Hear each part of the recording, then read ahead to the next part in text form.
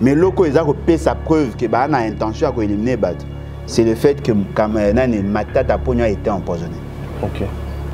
comment voulez-vous quelqu'un qui serait poursuivi par la justice bakangi ye mais bakuti poison na nzoto comment expliquer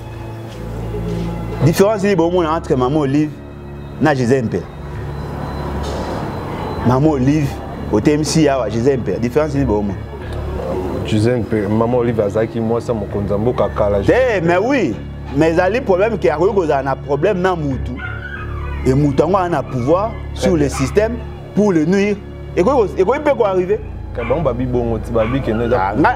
non mais ngai azoloba te c'est-à-dire que maman olive lokola aza koderange baintérêt ya bato moko boye bakoki kolinga basala ye ndenge basala sai balakisa ye ke bango nde baa na bokonzi maman olive na gisene pela bakozala nde na statut moko par rapport ya pouvoir otomona oza na mposa na aloba mpo oluka moyen okima okende exil ndenge mpe oluwaka aza hmm. ndeko na ngai yoyokaka o ngai nalobi sukaka wana mpo ntango na lopesaka badetail ekomama mebele zala na problème na moto ya leta amemaka mambe tokokota te bato baoboma bato na congo eza banani ah daye kutu mama sese azalaki mwasi malamu koleka mama olive ah nga mpe mpo nasala nalakisa ye ke mama naleki mama sese omoni c'est ça moto aolinga asala makambo mpo alakisa bato ke aleki bato mosusu basala yango naturellement bato mosusu basala yango ya koforce bakoganye nini soki balingi baelimine mama olive hmm. parce que ata soki aza elimine ata soki babomi ndenge bato ya pprd baoloba mais l'histoire retiendra que y avait une dame qui faisait plus que l'autre oyebi après combien d'années bato bamona mama olive baapprécie ba il y a eu un temps quand elle avait commencé bato tu wana ataka mwasi ya mobutu ah mwasi ya mobutu ya liboso azalaka malamu mama sese azalaka mwasi malamu abandaki kosunga bato ntango mama olive aye ngai namona mama olive asala plein na équateur balingaka kabila te me balingaka mama olive bolingo basombaka te bomani inspecteur na kati ya ya en plein travail aoki nzala mama ya élève aoleka na manioc basengi basombi te basengi epuis azolia yango yo ozokanisaki azolia yango na bula posa te azolia yango na nzala eh? alati mpe costume ye ah. kutu alati kutu costume bamosusu ndenge bazala na ngai namona baenseignant alati lipapa singa ya lipapa bakanga yango na singa liputa hmm. Non, mais Tony Mwaba azali derrière Tony Mwaba il y a quelqu'un. Et là on est battu bah te ministère wana eza ministère mutu. Hmm. Oh. Ceux qui allaient payer le gars ont un problème. C'est-à-dire que eza ministère à mutu. Hmm. Hein?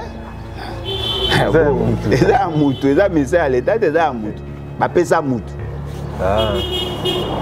ah. sikoyo mekana eh, wana ceinture jaune bato bageraka mbeto baleki bato bageraka bagouvernement na bapuissance ah, moto yango ageraka mbeto ah. yo oza na mposa olanda pero liwa kobende mboka eza mboka desordre napesi ka exemple moko cortège ya monsieur félix sekedi ezozala dirige par bamotard Eh, na mboka nini yo osi omona un président de la république aza kotambola na bawewe c'est-à-dire bato oyo bazali banon initie hmm. baotambola bazingi ye c'est-à-dire que s'il y avait euh, soki tozalaki na mboka oyo terrorisme ezalaki makasi félix eke mais sa akufa kala na baerreur oyo ye asali yo mboka batama boma bato ya wewa bakomi plus influent que les institutions mokolo bakokoma bakosala terrorisme nasi bato ebele bakoregrete bakoki kosala coup d'état lelo mpe bazwi pouvoir nde nakotelemela na bango baza ebele boyebi bango te mais oyo oh, place ngai na esiko tokomi en harmonie en osmose eza oyo abeti na ye revi il vous dit ceci alobi c'est normal ke ngai député nakoma na possibilité ya kotonga ndako ntango hmm. nalobaka na bino ke boreduire batrain de vie boreduire batrain de vie ya bainstitution bato bayokaka ngai te batrain de vie ya bainstitution nde epesi ngai moyen nazala na bandako oyo naza nango babiloko eza nango wana epuis bato baomona yango grave oyo oh, ngai naza nango eza eloko te par rapport ya bacentaine ye alobi 100 million te centaine de millions oyo ebimaka na ba jet privé bakendaka kobomba yango na ba paradis fiscaux eswi mitema papa le eloko wana ndeko na ngai wana eza kaka lokola moto auti koyebisa oke daye kutu motu wana ameka kutu koloba te ye moto aliaka mwana ya bavoisin ntango bango bazo atake kabut apparemment lui lekali hmm. mais ntango ye abeti missile o oh! na procureur na assemblée nationale na sénat na eloko abeti wana moi eloko kabunda abeti hmm. dans un pays sérieux pays seke sere devant là-bas obomba yango wapi na baparadis fiscaux na bamboka oyo bapozaka question te na origine ya mbongo ezali mbongo ya moyibi bake kobomba mbongo ya moyibi mais conséquence na yango sur le plan socio-économique eza nini esika wana ifo bato bainsiste bayeba soki moto azwi alongoli mbongo en devise amemi yango na, na système financier extérieur c'est-à-dire alongoli yango na circuit na biso amemi yango kuna ezali crime économique dites-moi entre quelqu'un qui a volé ici ake oboma mbongo libanda na moto oyo ayibi awa atongi ekole tobetela maboko nani bango tuni baye baa bamiyibi mm. me moyibi ya liboso aa moyibi ya mabe ayibi mpe abimisi mbongo libanda yana esala bino felise eke aza na génération ya bato ya mobutu omoni mm. na kaka na métaphore nabie eh. moto oyo amelaka masanga samedi mm. chaque samedi pensez-vous ke masanga ya liboso abandaka komela na semaine eza samedi amela yango mingi mais samedi na amelaka na bato nyonso monsieur félix eke c'est un jouisseur on n'a pas besoin ya kotia bagan c'est un jouisseur ezalaka te il faut abima c'est comme ça mais ye azolinga banégocier lutundula azosepela mpo bakangi photo na ambassadeur wana c'est ce que moi j'appelle complexé bosepela vous êtes content quand vous êtes en face des criminels des gens qui tuent chez vous.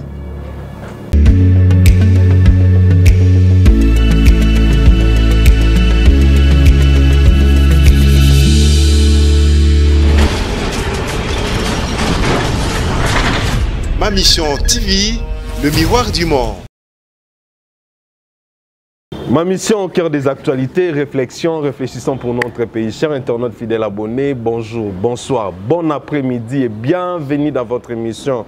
Réflexion qui est bel et bien présentée par moi-même Alexis Wechi. pepe mokonzi kongomani mbote bisika tu bokolanda biso merci mpona oyo tu bokosala na ma mission merci mpona fidélité na bino merci ndenge boza kolike mpe kopartage surtout ne boko kata kata ba émission boko tinda partout et ko sala biso vraiment très très très bien toye koluka lisusu mwana mboka molobeli ya bana mboka papa alain bolodjwa votre chouchou hein, chouchou na bino oyo motu moko alobi papa alain aza mayele lokola angelu nde toye koluka tosolola na ye mbote papa alain mbote ndeko na ngai mbote na balandi en tout cas merci beaucoup pour l'opportunité mm. papa ala oza aime hein, bato balingi yo tellement oyoki na omituna bato wana tuso bangana kaka na kisasa mais papa alain nayebi te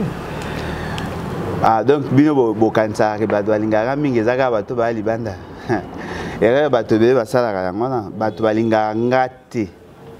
balingaka verite hmm. omoni bato oyo balingaka verite soki baza ebele hmm. soki ozoloba verite eke verite oyo ozoloba ezokokana na verite oyo bango bayebi hmm. bakoaprecie le jour oyo na otengama bakolinga bakotikana bango surtout koto babeta ase te papa ale kochange te pardon bango deya bachange ngai nazosupporte te bango bachange ngai naosupporte oremakaka te ke ye mona one nabundaka ngai moko vraiment vraiment bango bachangea hmm. moni bato mosusu bazalaka papa alain tolingi hmm. tout ça eh. hmm. ezala su bongo te bamesani déjà bato bamesani déjà babia ah, wana motu na ngai eh. ah, eh. nabengaka ye déjà na 2019 komisana na te tolingi yango te tolingi yango te papa alain lebati eza bakomi papa alain lebati boni we lebati sava tozobunda malembe malembe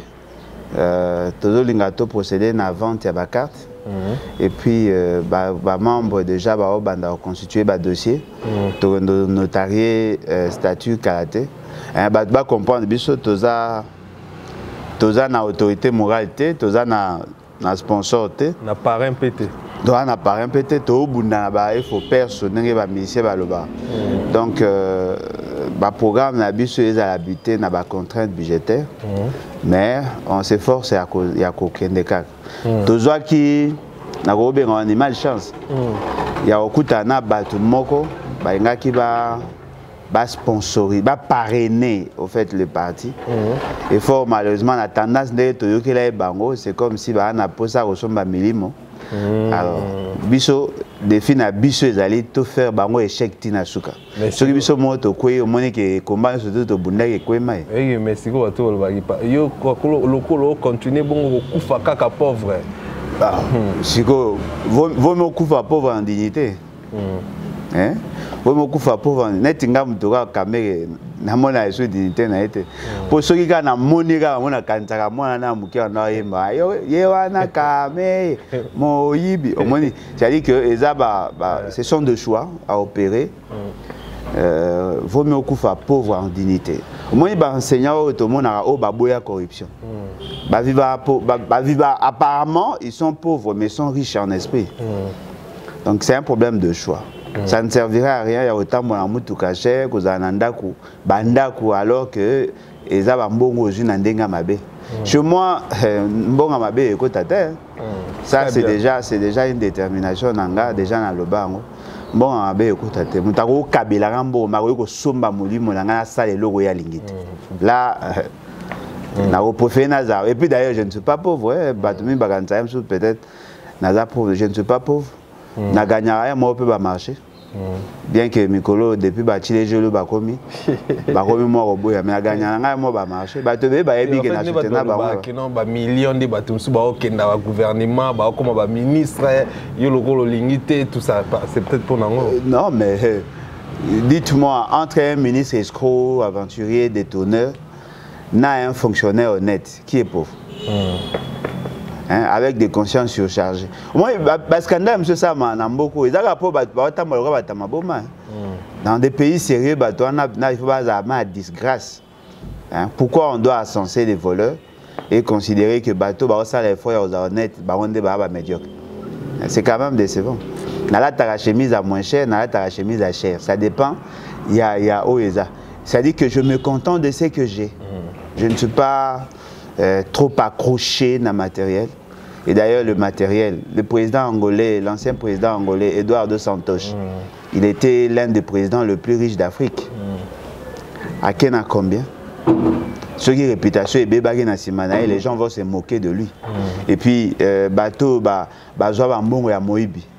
qui les respecte mm. ba respecta bango te ba flattaka nde bango po bazwa mbongo mm. personne ne les respecte ba perda dignité ba perda dignité il y a des gens honnêtes peut-être toyebaka bango mingi te mais on les respecte mm. ngai na quartier na ngai nazalaki na ba vieux mosusu oyo ke aza euh, il assume de fonction mm. ba subalterne na ye basekaka ya aza boye tout ça mais au finish il est mort heureux A coup heureux. Il n'a pas de dettes, Il n'a pas de charges. Et il a fait éduquer ses enfants avec ses maigres moyens aujourd'hui. Mmh. Ndagouné est égal inachevé, mais tout le monde les craint, tout le monde le respecte. Mm. Très bien. Merci beaucoup, Papa C'est la même raison pour laquelle il sommes toi, en tout cas, nous sommes par rapport à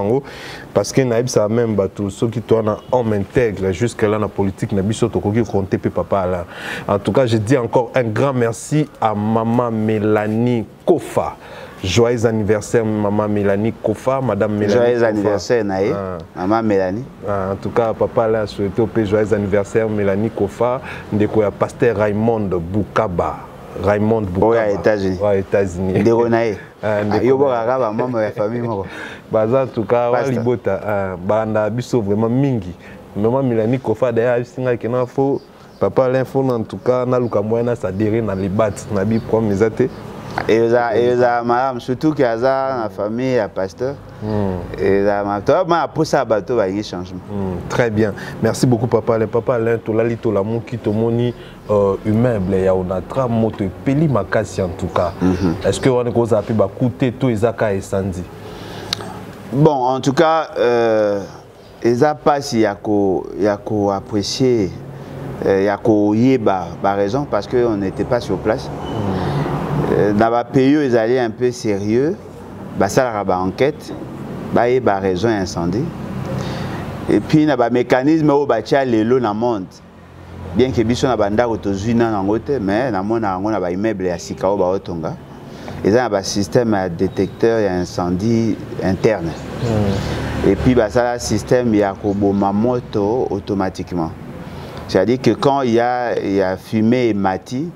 détecteur ya fumée wana ezwi yango mbala moko enclenche automatiquement le mécanisme ya, ya, ya extinction ya koboma moto wana mm. mais ndako wana immeuble wana eza immeuble ya kala mm. hein, ezali babiloko oyo etikala na colonisation eza vraiment ya kala mm. soki otali meme bavideo ya kala okomona yango ezalaka eh, baperiode ya balumumba tout ça ezalaka eza ba immeuble mpenza ya kala mais euh, basali effort ya komodernize te hmm. à une certaine époque namonaka basalisaka batravaux mais esukaka mingi na kote ya ministère ya économie hmm. et puis euh, namonaka mpe na periode moko boye na ministère ya économie ya commerce économie et commerce extérieur ezalaka wana te hmm. et puis euh, na mopanzi na ministère ya transport hein, à l'époque ya transition namonaka mpe basalisaka bamisala mais ezalaka bamisala mpenza ya, ya ya modernisation mpenza te c'est-à-dire que baambelisaka mm. eh, je n'ai pas vu le grand travaux mm. eh, babongisa bacouloir à l'époque à olengankoi mm.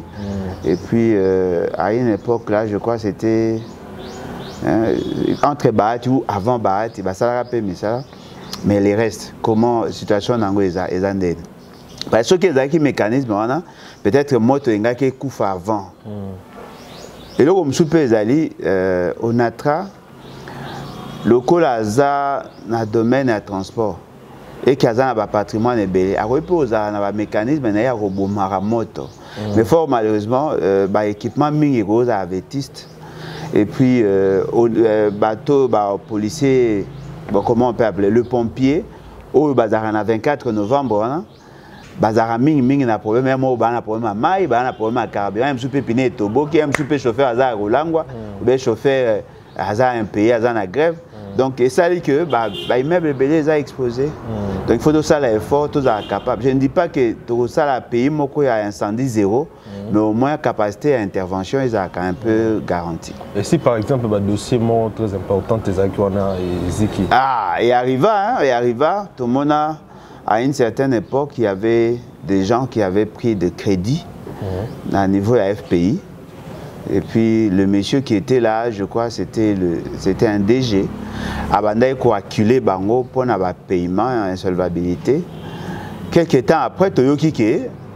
akufa c'est à dire que akufa na, na bureau na ye moko bozalaka kota galerie présidentielle toyoka to, on n'a pas assez d'éléments kakufa et d'après bato mosusu akufa mpo batumba ye na bato na badossier na kati mm. voilà. c'est à dire que par moment bato baza na problème ya gestion batumbaka mingi mpe badossier mpo na kobomba verité soki otumbi baarchive ozalaki na niongo ya mutu hmm. osinyaki na ye mikanda otumbi bapapie na ye nyonso ye ozoimagine déjà que euh, dete wana ebungi parce que s'il y a pas de preuve hmm. euh, eza difficile à prouver kozalaki na niongo na ye donc euh, tout ça ekoki kozala mpe moto moko criminel hmm. mais comme on n'a pas assez d'éléments on préfère eh, s'absteni très bien na préfère totala video oyo après nazonga mpona opose question mo vraiment très important bakongomani bakozela ma mission tv hmm, voilà les pestes d'aujourd'hui mes chers amis hein, nous en finirons Nous sommes ici au centre d'examen d'état de, de OD 63090. Après les travaux de ce jour, le colisage est terminé. Nous devrions nous, rentrer, à, rentrer la maison, mais quelqu'un, un homme de bonne foi, une maman qui déterrait ce manioc, a eu le, cœur vraiment très, généreux de nous accorder ces choses, ces conseils de manière que nous sommes en train de prendre chacun. Cela montre combien de fois, en tout cas, le ridicule ne tue pas. Nous devrions en tout cas nous trouver en train de prendre chacun au moins un jus, un sucré ou une bière. Mais hélas, on n'a même pas mangé depuis le matin à 7 heures, puisque personne n'a la possibilité de, de, se payer à manger. Pas même un morceau de pain, pas même un beignet. Voilà, nous sommes ici comme ça. Et euh, quand nous allons rentrer dans les familles euh, d'accueil, on va rentrer comme ça, on ne sait pas, on n'a pas d'espoir qu'on va manger.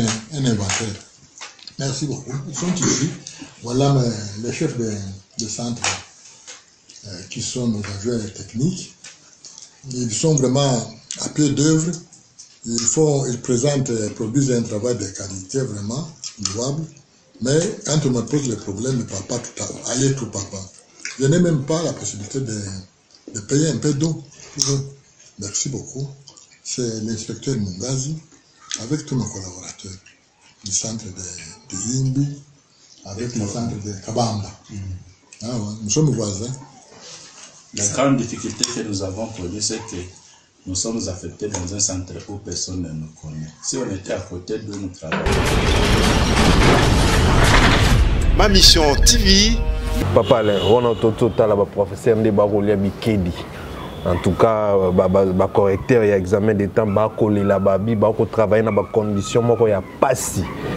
antu ngai kote na ngai namoni ke bato na bato chaque secteur bakomi kosala ndeti mwa sorte ya kodenonse na ndenge na bango papale babangi te balongwa misala yo omoni yango boni ah, eloko ya liboso ezali euh, la question ezali, ezali pertinente mm. mais eza kofaire véhiculer un grand message au-delà ya oyo olingi oloba mm. balongoli kobanga bakobanga te badenonse mm. c'est-à-dire que lelo na congo bato baovivre na psychose baobanga kodenonce mpo bakolongola bango misala mm. wana obeti masolo ya baenseignant il y a eu aussi un problème avec le médecin mm. avec les infirmiers mm. et même avec le professeur d'université mm. oyo bazalaki na intention ya kogreve basome bango bayabi soki bagreve bakolongola bango mosala mm. nasalaki émission moko na monsieur mishiki mm. babengaka ye prince monsieur mishiki euh, willy alobi euh, professeur oyo akomeka kogreve lokola baza corrompu baolongola bango misala e mpo na bango le professeur oyo bazalingi barevendike bazali manipule par moïse katumbi mpo lelo ekóma soki eh, likambo moïse katumbi parce que lui il a beaucoup d'argent et c'est lui qui a l'influence surtout eh, ekoma lokola ndenge bato mosusu bakoma okosela satana makambo mm. yo moko okosala ekobo na yo oluki banenete na yo kuna après olobi ono satana moto amekaki onei azalaka esika c'est ça en fait c'est ça le eh. message ezoleka mais par rapport ya situation ya baenseignant ndeko na ngai j'étais en contact avec euh, euh, baenseignant moko tosala mécanisme moko ya koprendre bango en charge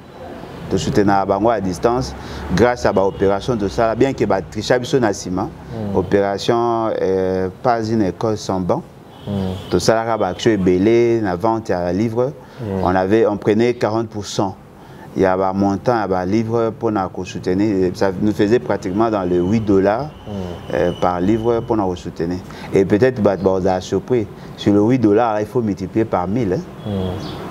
Parce qu'on a pu vendre près de 1000 livres. Okay. Et sungai biso to sa mwa makambo ebele tosali na kikui tosali na chwapa tosali na équateur tosali na isiro parmi to calculant 8000 8000 oyo topesa mpo na baekole tosali bamambo ebele tosalisi babanc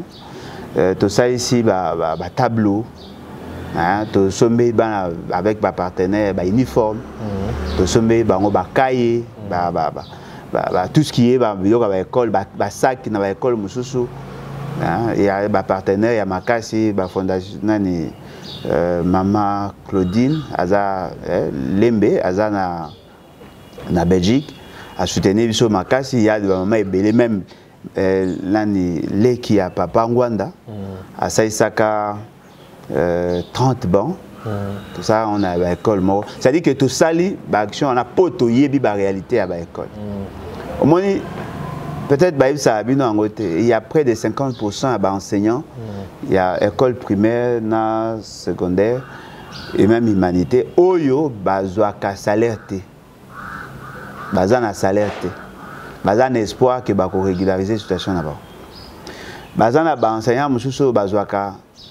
eh, donc bango tout d'ailleurs bazwaka esu prime te baza na baenseignant mosusu oyo baza kosala mais badésactiva bango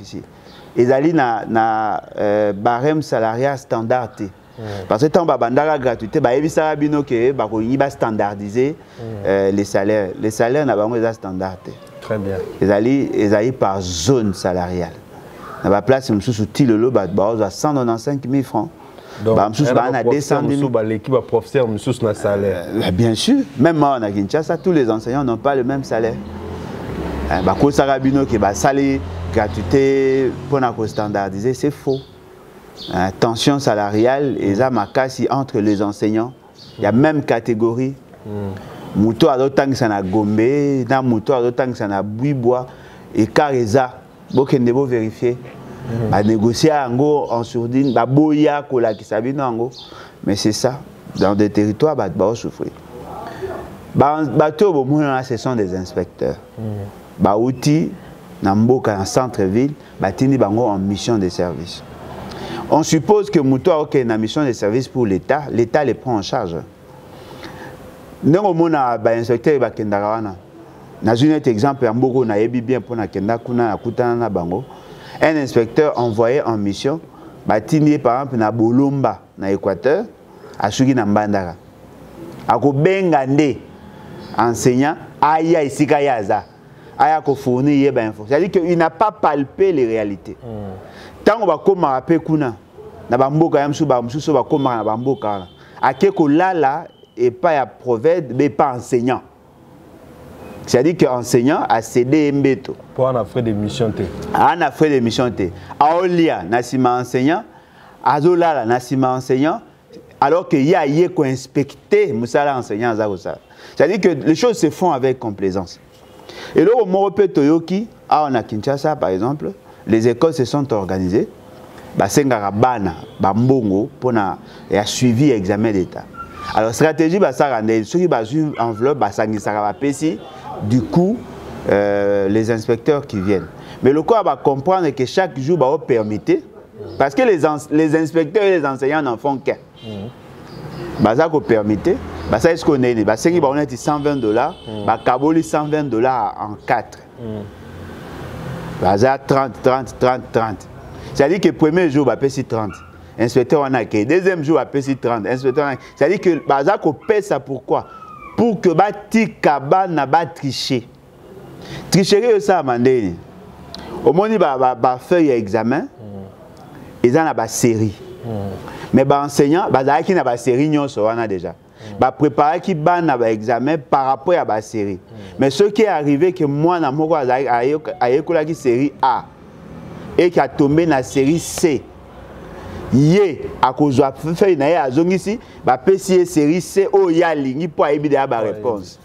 omoni et les inspecteurs sont là mm. c'est-à-dire que mwana nyonso aza koloba non eh, papa noko eh, yaya eh, pesa biso mbongo ya examen d'état e baosenga mbongo ya suivi suivi wana c'est-à-dire quoi baosenga mbongo ya corruption et les enfants savent que moto akopesa mbongo ya suivi ta ozwa te quel que soit degré ya intelligence c'est-à-dire que on initie nos enfants na corruption seke etolo félix tshisekedi a raison na biki enseignement ekufa nango papa le bon motu moko oyo tobenga nga avant na tosala émission abi nalobela yango mingi mingi te mpo félix eke asilikaka nango mingi makasi ah. soki na bando obeta masolo ya niveau d'étude tout ça asilikaka yango mingi makasi eh. donc etika ngai napema etika ya pema oti voyage akokende kosala consultation médicale oya o risque mpo bato mosusu bakoma soki ana baproblème mingi boa atake mingi akoma mela mingi hmm. donc eh, il faut eh, bala te otemai na vino nao na tie te nalinga nde émission ekonte mpo eya obebisa bato mosusu bakoya obaye kolanda c'est-à-dire que euh, la corruption ekomi ekomi une matière oyo toyolakisa bana et puis corruption ebandi wapi ebandi déjà na école maternelle par moment ntango namonaka makambo esalamaka na congo epesaka ngai nose bazoyebisa mwana moke travail manuel aya na papier hygiénique travail manuel aya na savon liquide travail manuel aya na savon ya mbuma soki oye na yango te euh, okozwa te alors quel est le rapport entre travail manuel na papier hygiénique travail manuel est ce que l'enfant a participé na conception ya papier mouchoir papier hygiénique mm. asali savon eloko nini manuel nini eza wana epuis travail nini esalami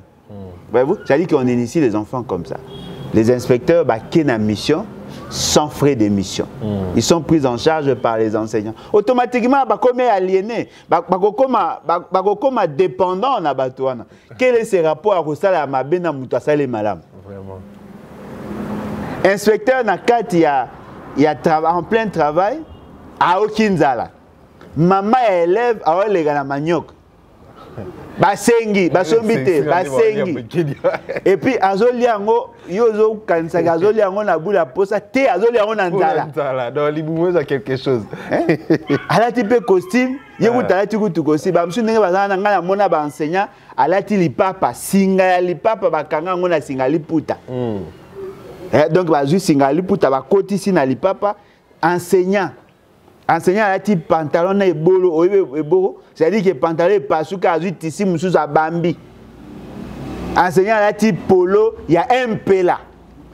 ya angola ya angola na kati ya territoire alati polo ya mpela teni na ye ya ville yango wana moi periode moi ekomaki ebele ekitaka kutu ekomaka ti ba 500 fois ba 1000 eh. francs voilà baprofita basombasomba teni na ye mpenza ya mpela aza moto ya congo eh. mais ayati nini ya parti politique ya angola tu vois c'est-à-dire que on a baclochardise l'enseignant mm, mm. alors que la, la, la, la qualité enseignement dépend aussi ya qualité ya inspection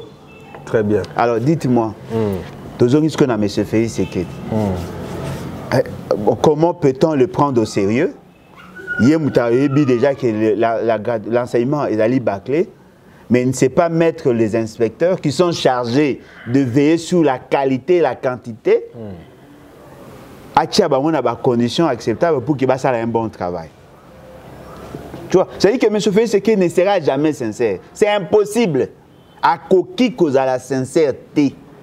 mpo ngai nayebi te nani akoki kosala omoni bato baobeta masolo ya lingete ya lingete mm. il fait un travail baclé mais il fait quand même du bruit mm. alors vous savez comment alingeti gagne l'argent la, alingeti l'inspection générale ya finance a une dotation mm. au-delà ya dotation bazali na droit ya cote part chaque fois soki bakangi dossier moko ya mbongo ils ont droit à un pourcentage bapesaka bango bakozwa manque à gagner oyo l'état aconstate grâce na bango bakopesa bango 5 pourcent mm. mbongo wana epermetaka bango bapesa bato bapesaka bango bainformation et puis bapesa baprime na bato basalaka wana yango omoni alingi ete aotambwa na bakar bakar ya chere aza na bagarde du corps ebele c'est-à-dire que il est capable de les prendre tous en charge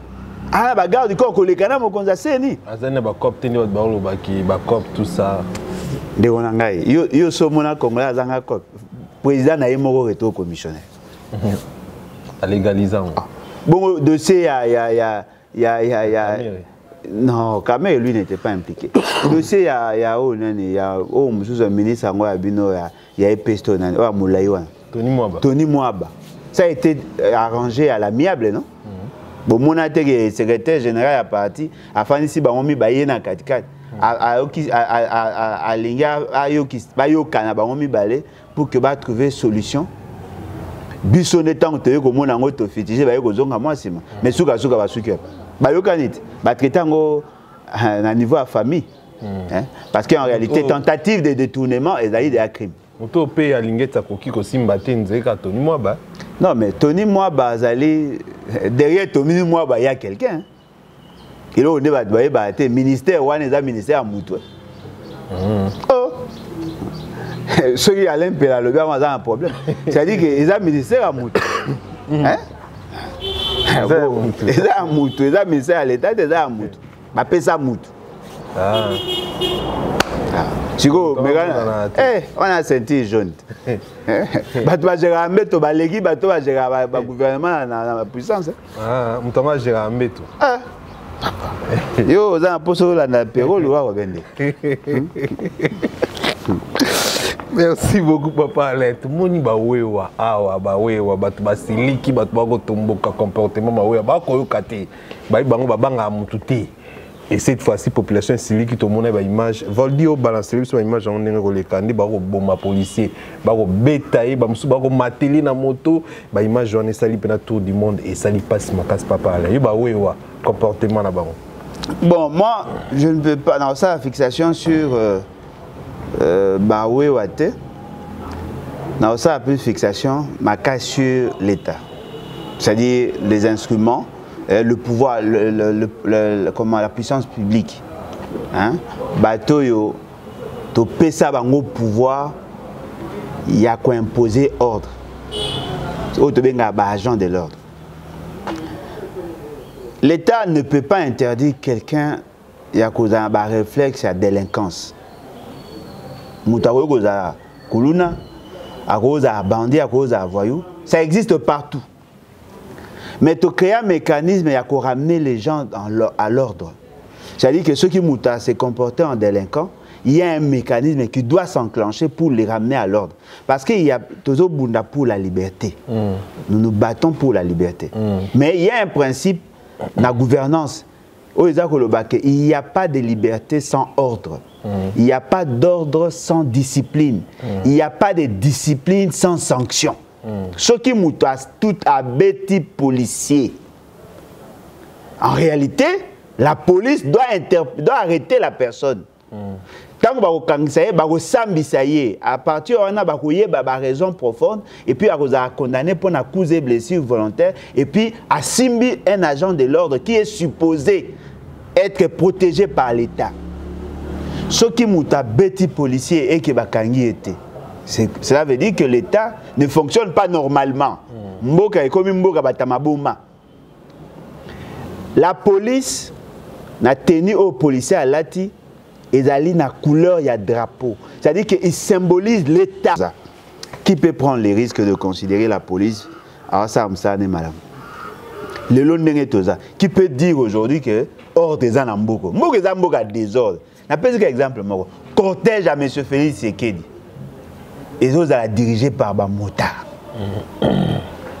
eh? na mboka nini yo osi omona un président de la république aza kotambola na bawewe c'est-à-dire bato oyo bazali banon initie baotambola bazingi ye c'est-à-dire que si y avait euh, soki tozalaki na mboka oyo terrorisme ezalaki makasi félix eke mais sa akufa kala na baerreur oyo ye asali yo omona wapi président yebiki na cortège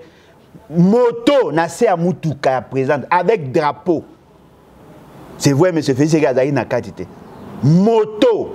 batuti motu na moto je crois un journaliste ekuta bukana lokolo moto ekoti na se bongo soki ezalaki piége ese félix eke ayebaka role ayebi role aojoue moto osimbi bokengi ya leta mais baovivre na indiscipline okoki koimagine te aujourd'hui na congo na koloba eloko eza surprenant la, le code de, ya, ya code de la route elobi pour qu'un engin eroule na ville ya kinshasa na congo il faut ezala na numéro ya immatriculation bayeba koidentifie l'engin et le propriétaire il faut que moto aza korouler engin nyonso ezala à part vélo moto voiture camionnette camion il faut azala na permis de conduire mboka batama boma moto aza na permis de conduire valide aza te bakoki kokanga motu te mpo azangi permis de conduire moto ayekoli motuka na 11 heures akoki kokoma chauffeur taxi na 12 heures l'essentiel mpo na ye ayeba kodeplace motuka omoni mboka bo eza normal yo kasi eza responsabilité ezaka ya bawewa mboka etambola bien te ce n'est pas normal mboka ekomi lokola mboka batama boma moto na moto akozwa sens contraire omona neti oyo namonaki mutuka ya, ya, ya, ya balobi eza mutuka ya bato oyo bazalaka na gouvernement na kati ya mutuka wana na kati ya mutuka de fillette batie basuki ba bakangi basuki ba fillette batie gironfar alors que la personne qui assume la fonction qui est supposée kozala na kati ya motuka wana aza te mais chauffeur se permis ya kotia bagironfar kotia bastirene mpo bana ya mokonzi nde baa na kati eza mboka normal te mutuka ya présidence de la république okuti yango na nyangwe moto aomela masanga afandi likolo ya mutuka na basi ya ndumba mutuka ya présidence de la république eza normal te camion ministériel eke kosombela mwasi ya, ya nini ake osombela ye biloko ya kolia batie bapondu bamakala na kati ya motuka officiel eza normal te sikoyo oyebisa nga eh. problème ya wewa yo omoni wewa mais problème ezali profond te babi baoyo wana ete tutese eki makasi bakotumba na mituka na nzela mais papa mais justement parce qu'il y a absence de l'état absence de l'autorité de l'état eloo nazoyebisa yo yango wana l'état akufi bato mosusu babeza injustice babi que non c'est parce que mingi bandeko nyonso baoyo ya mingi bakotaka sai nde bakosala bongo mais nalobi e eh?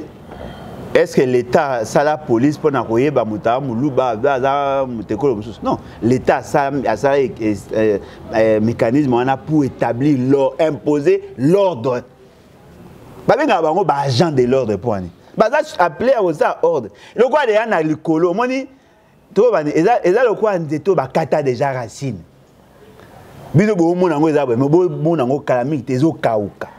parce que sève eyaka na nsima ya racine wana mm. bakata racine nzete ezomonana mobimba me bakata racine mikolo ezoya bomona yango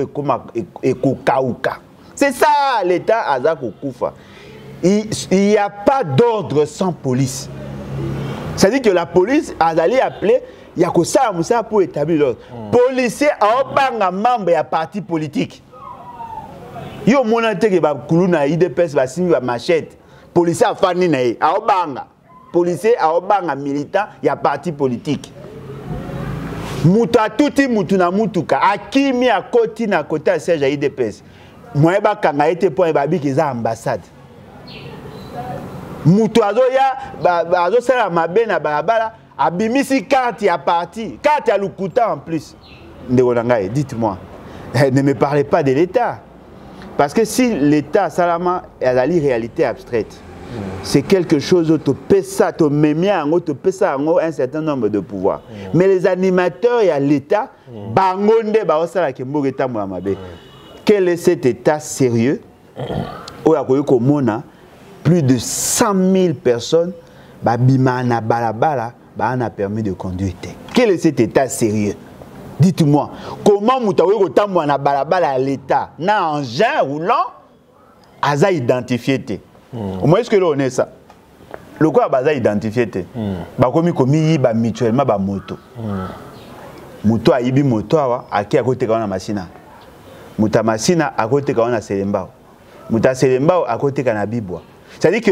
baoyiba na bango na bango bamoto ecrime ekomi organise bato bakomi kozwa bamoto kotambola na nzela babotelaka basi basaki babotelaka bato babiloko na nzela bakomi kosala baopération à partir ya moto okoidentifie nde na na plaque ya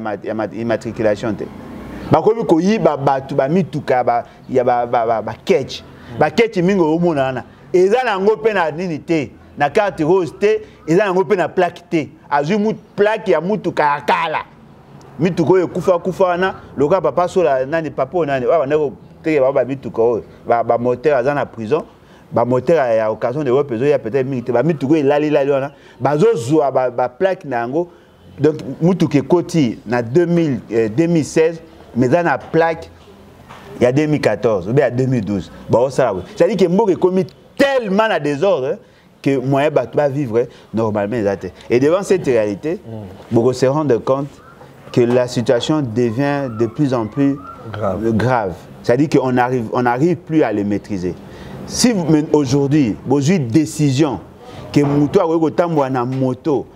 eza kaka motu oyo aza na plaque boko remarquer population okoma na grogne pourquoi parce que le système ya transport eza adapté te mm. bato ya wewa bakomi plus influent que les institutions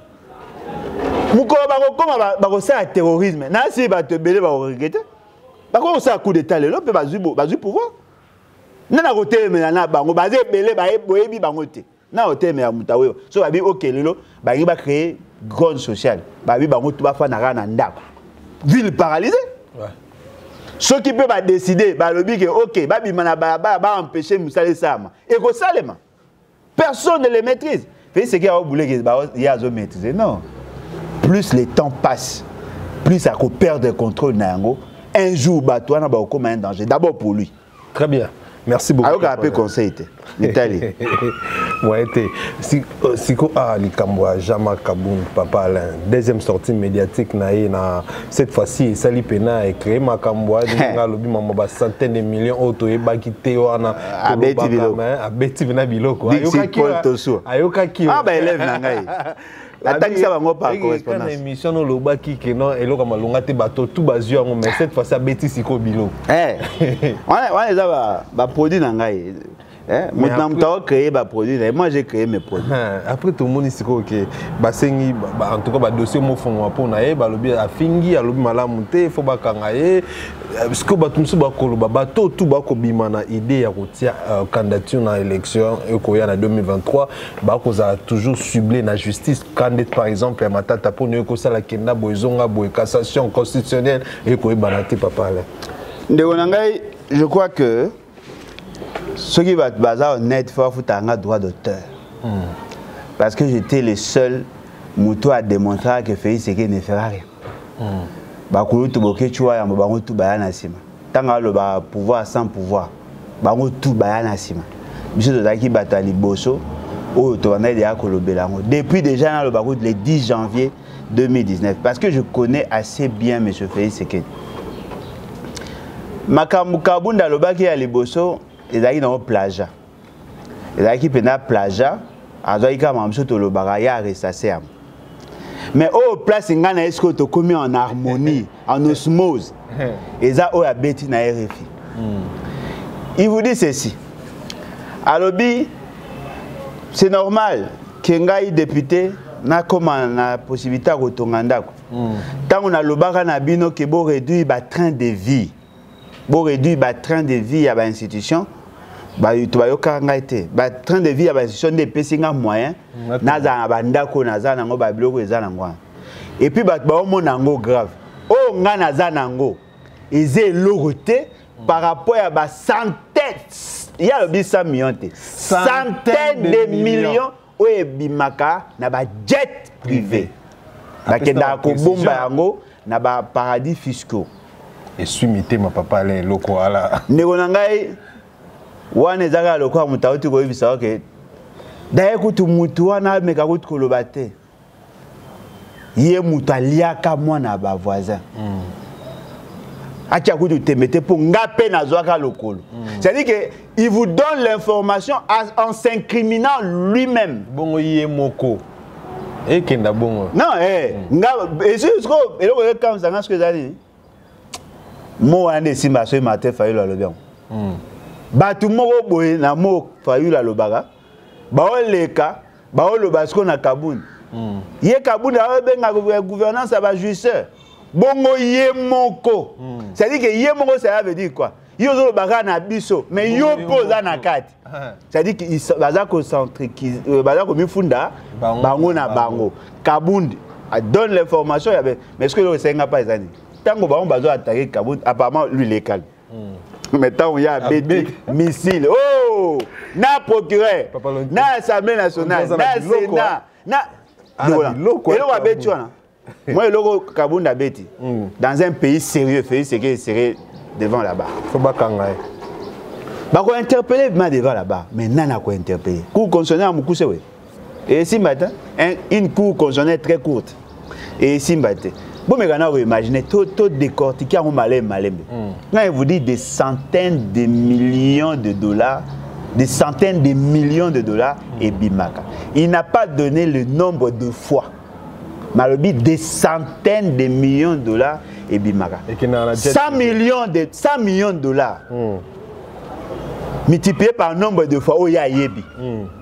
apesi biso nombre de fois te c'est à dire que soki toyebi to estime ekoki kozala plus de 200 millions de dollars déjà ebimi mm. plus de 200 millions parce que soki ezalaki deux fois anga ba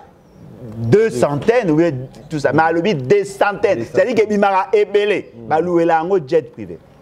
Ça s'est fait en dollars. Premier crime, quelqu'un qui arrive, pour nga yebi Félix Tshisekedi asala ntintani mpo hmm. azwa 100 000 dollars ofuta na caution na élection asala ntintani basangisa bambongo euta bato hmm. apres akokisa 100 000 n'avait pas l'argent basangisi ye mbongo c'est à dire que monsieur Félix Tshisekedi peut avoir l'argent grâce ya mosala oyo ye asali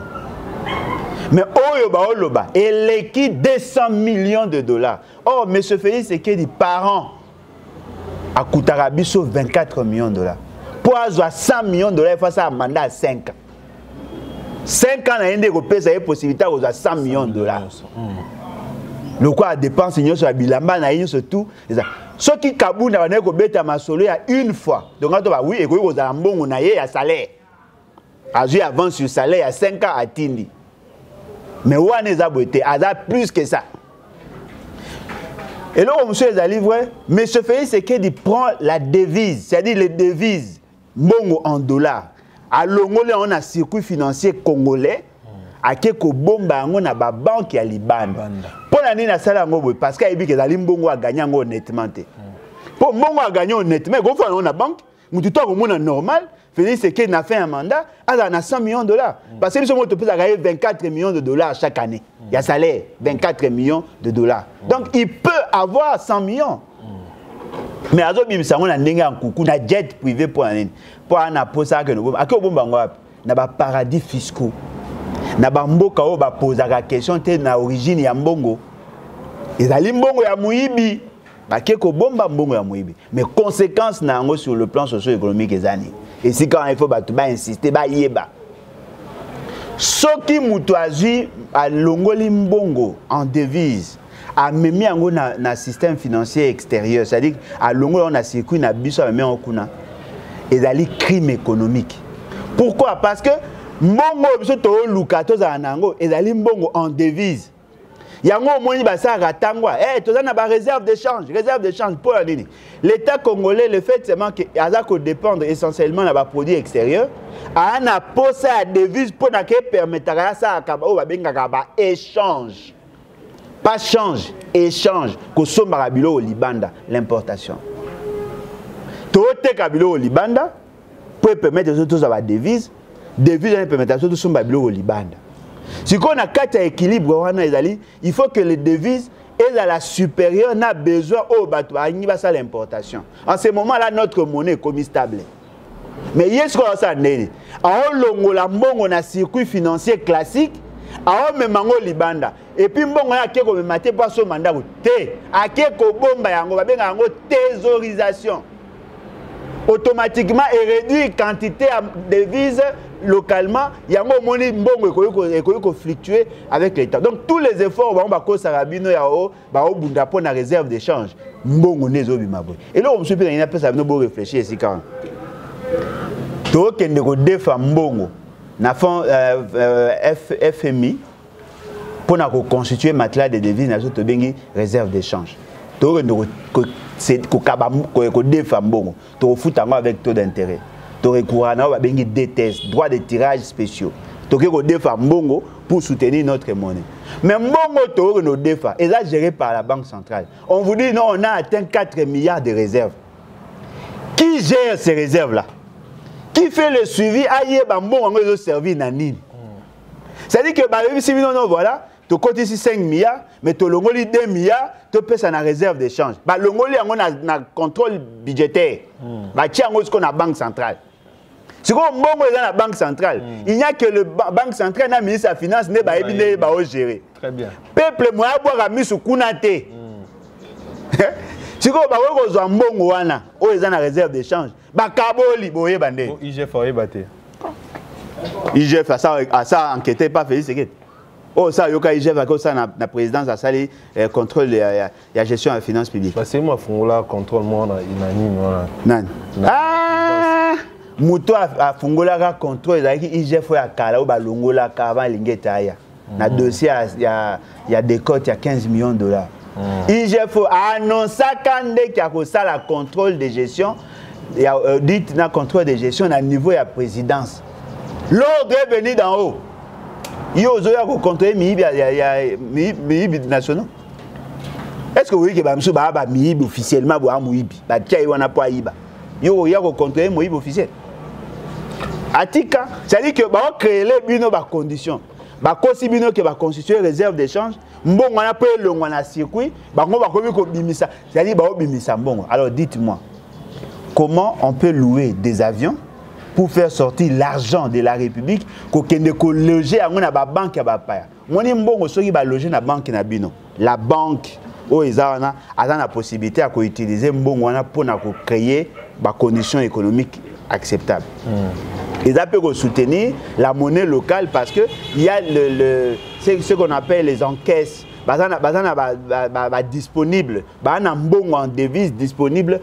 oyo ekoki kopermettre bango basali basoutenir économie hmm. lorsque moto alingi akende kosomba biloko libanda akoki kokende na banque la banque akoki kopesa ye mbongo ya devise mpa kosomba biloko libanda mais oyo bazwi bake kologe yango libanda mbongo wana esika bake kodepose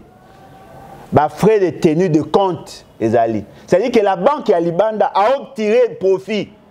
lokola ayebi ke félix eki aza nano na pouvoir akoutilize mbongo wana akoki kopesa yango mpe bacrédit ba, ba, ba na bato avec taux d'intérêt baza koutilize mbongo na biso ya moyibi baoutilize mbongo na biso ya moyibi pour soutenir l'économie ya bamboka ya bapaya dites moi entre quelqu'un qui a volé ici akoki kobomba mbongo libanda na moto ayibi awa atongi ekole tobetela maboko nani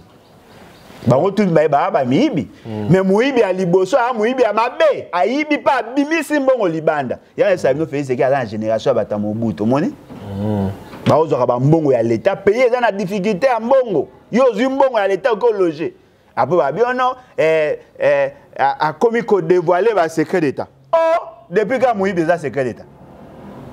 babi injure o oh, moyibi injure est ce que olobaka motu moyibi eza injure babi yana bapreuve te papa alain oh. moto okoya kabunda boye bana kabundi keyanga bapreuve te ti mokolo mosusu bakolobaka yo oyebi basecret ya, ya, ya ma mission te yo nde ozala soko mokolo kolongwa mm. masolo ya ma mission oki oloba makambo ya bibi kapinga bakondima mpo bozalaka naye mm. ah, ondimi te ekasi eh, ndenge moko na kabund kabund yango kabund azalaki na précaré azalaki na précaré ya félix sekeli kabund ete appelé ya koyeba makambo ebele quand il vous dit que mbongo ebimaka na bajet privé ayebi soki bato balandaka ngai botala baémission mosusu nasala bien ke na bachaîne mosusu j'avais dit ceci que bato ebele ya diaspora bakoma kozala utilise bayaka awa na kinshasa bazwaka bambongo na biso babimaka na yango mpo ale loge na bacompte ya bafamille ya miyibi hmm. naloba yango mingi balofana na hotel léon na ville bamosusu na, na béatrice hotel bamosusu na hotel mosusu ezalaka soki na ville nabosani nkombo na yango bandaki koyaka mingi bato ya diaspora surtout bato ya londres bandaki koya ebele to bandaki komonana na bango mais ye alobo ye alobaka mpe slogan na bango eza le peuple d'abord mais na mambo oyo explike biso ekotalisa biso ke ekonomi ekokufa mpe ntango akosala bongo akoboma mpe ekonomi ya mboka soki eza moyibi ya mosantu azalaka te moyibi ya mosantu azalaka te moyibi moko te akoki koya wana ayaki koyiba mpo nasepelisa bino azalaka te moyibi azalaka destructeur bamiyibi miyibi miyibi miyibi miyibi miyibi sikoyo naozela sikoyo procureur abota sikoyo courage akende koconvoke eh, nani eh, kabund baentendre ye mpo na eh, asali nini baoyo basali nini babi que non asali outrage ya chef de l'état en tout cas mambo alobi nani chef de l'état euh, félix antoine tshisekedi azala chef de l'état te ah bongo aza nani ah président de fait ah. chef de l'état eza moto eza koprotege aza kodéfendre les valeurs oyo biso tondima neti nini basite ye ndeko na ngai lorsqu'on vous suspecte de détournement ou de vol dans un pays sérieux il faut monsieur félix eke adémissionne bosuza yango lokuta démissionne ah. kaka ata eza ya solo akodémissionne te bango baoyebisa baninga bakende devant la justice bakende osamba obeti lisolo ya matata ponya wata hmm. est ce que matata est ce qu'il y a des preuves que matata mpo na yiba non bazo suspecte ye ke aza na moyibi bakei na ye na combien akei na cour de cassation cour de cassation azwi dossier amemi na cour constitutionnelle cour constitutionnelle ase déclaré incompétent ezongi na cour de cassation cour de cassation amoni ke akoki kotraite dossier te amemi yango lisusu na cour constitutionnelle wana eza justice mpo na nini ya baninga booloba ya bango keno il faut badémissionne bandima basamba babeli yo au voleur au voleur ayibaka ba 100 millions de dollars au voleur au voleur ofandi tozelaka yo yo non akende kosamba toyebi seke epo akende kosamba akosamba toyebi mpo ani bato nyonso babanga moto moko tozosala na émission abi non ifo bakanga félix ekeli na chaîne ya tv oh bakanga ye eh, aza président o oh. mpo ngai abike bakanga ye mpo aza mobala moto bakanga ye mpo aza président mpo aza cité na badossier oyo oh, te bakoki kokanga président ya public ya fonction te wana eza bamasuku bolanda na badessin anime dans ce pays on peut arrêter un président de la république en fonction article 164 epesi baproblème bakoki kokangela président de la république article 165 bapesi bamécanisme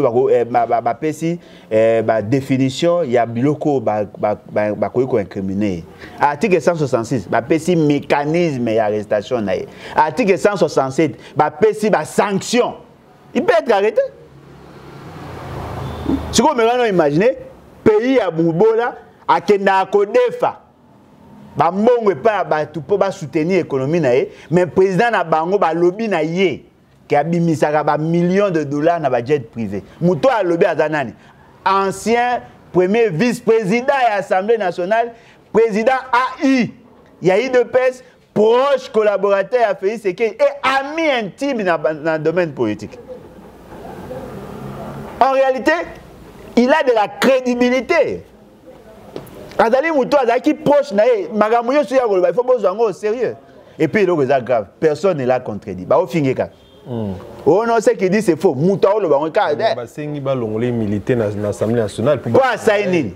mpo na mambo alobi te oh, est ce que aza na bapreuve te comment akoloba biloko ya bongo alors comment l'assemblée nationale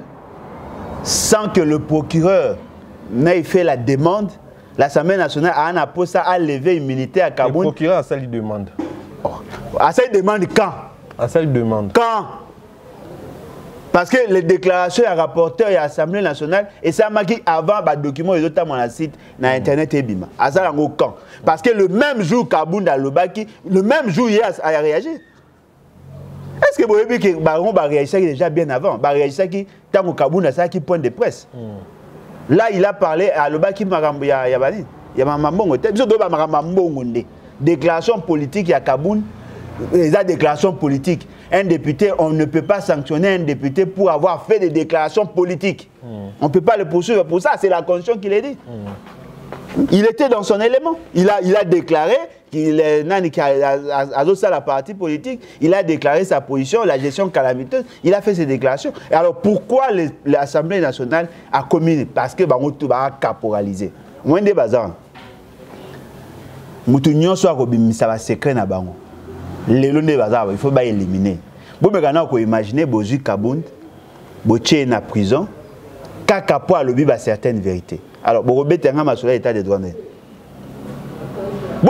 bocontredire ye bacontredire ye professeur chilombo alekaki na bosolo alobi chilombo wapi oyo oh, porte parole ya idps ah, azalaka na famille tshisekedi te ah, aleki azalaka na famille tshisekedi te ah, famille tshisekedi kasi aza beau frère na bango te mais akoki quand même mpe azalaki moto ayi na aza beau frère ndeko wana ezali baobeta masolo ya kimbanda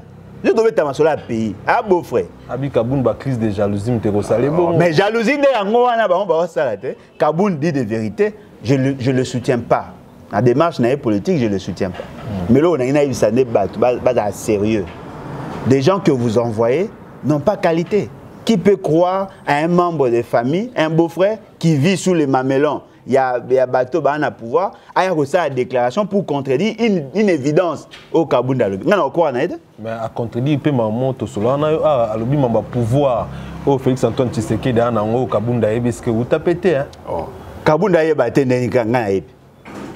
ye nde azalaka te pouvoir yango euta mpe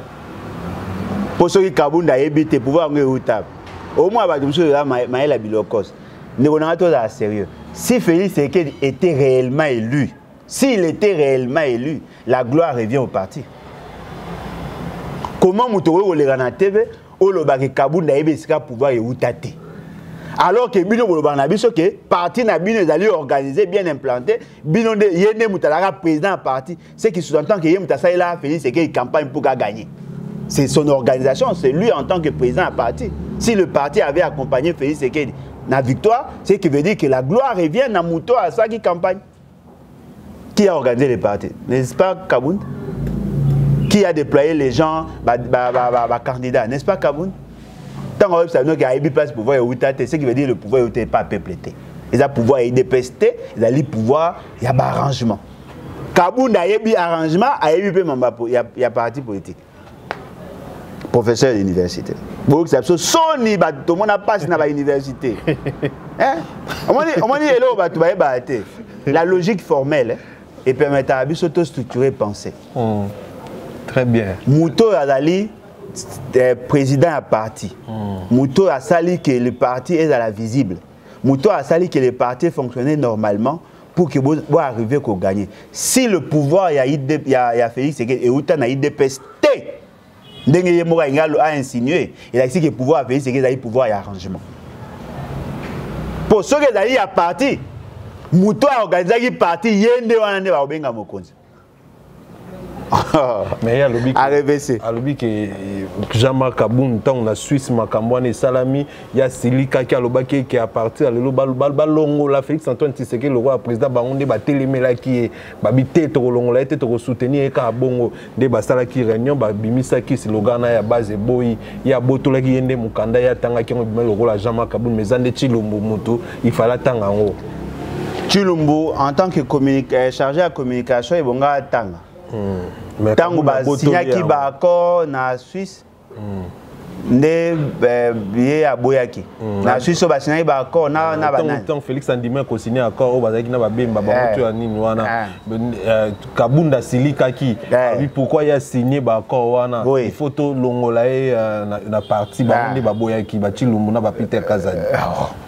oh. au moins est-ce que place raisonnement eza mabe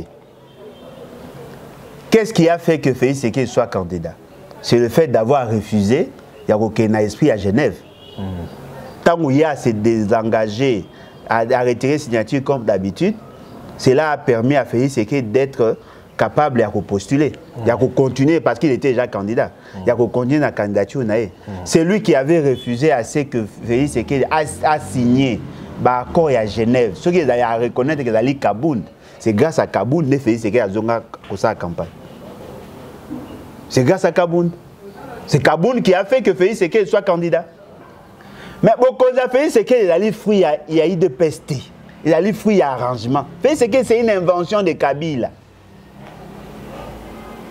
kabunda a négocié le pouvoir ya félix sekele il vous souviena kabunda alobaka na bango na siège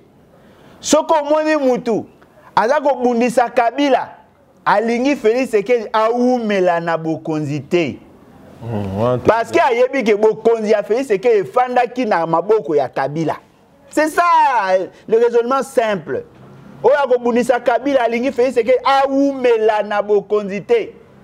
parce que bokonzi ya félix eke efandaki na kabila cetadire ke soki kabila asilikaki félix eke ya ngai alongwa naa na posa bobenga ngai makambo ebele te na comprendre ke c'est kabila qui a fait de félix eke président deuxième déclaration ali amoni parti akopesa bokonzi te apesi na idps ndeko na nga bino boya na mposa toyeba ndeni félix ekedi c'est une invention de, Kabo, de kabila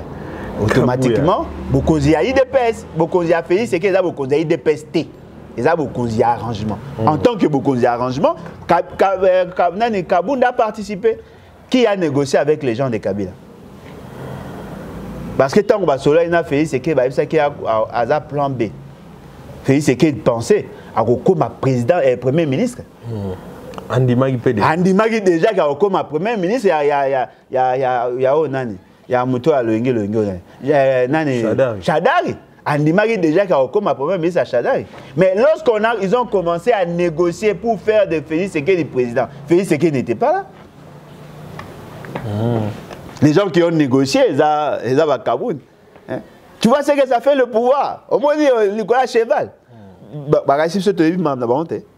eza soni